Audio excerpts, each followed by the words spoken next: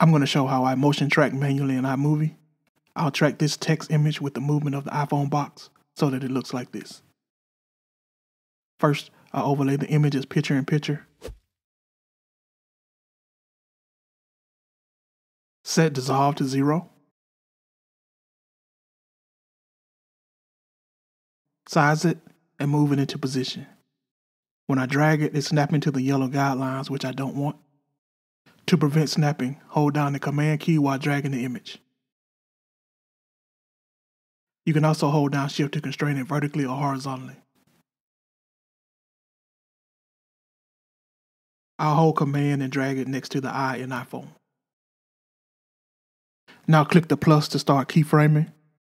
The right arrow on the keyboard advances one frame, and I'm going to move the image every 10 frames, so I'll click the right arrow 10 times. Now I'll hold down Shift and Command and move it to the next position. I'll repeat these steps until it's complete.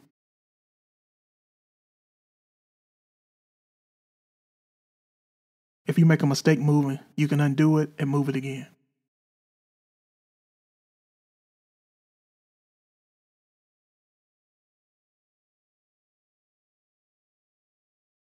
Now press play to see the final result.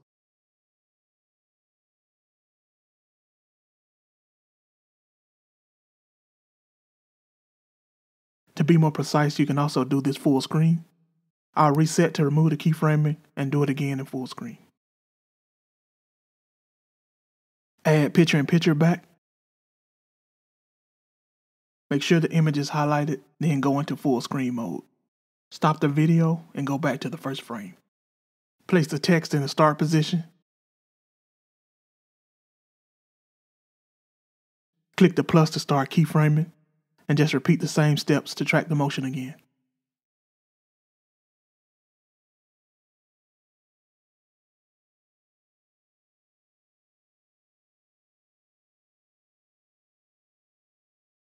Now press the spacebar to play it.